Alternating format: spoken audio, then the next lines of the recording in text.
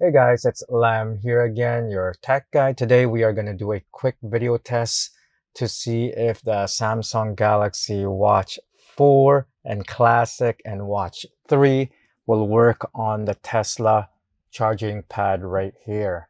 So this is a 2022 Tesla Model 3 and I've got th all the watches here right there and we're just going to place it on the middle center here.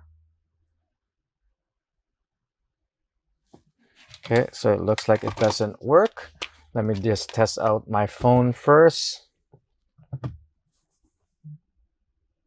All right, it's showing that's charging. Okay, so it's charging. All right, so let's try that again. We'll do the watch 3.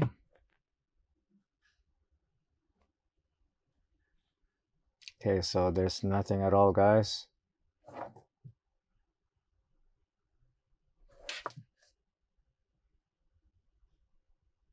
Okay, let's do, I mean, that was the watch 4. Now this is the watch 3.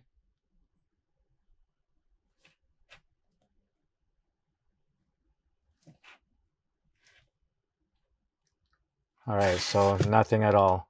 So there you go, just a quick video test.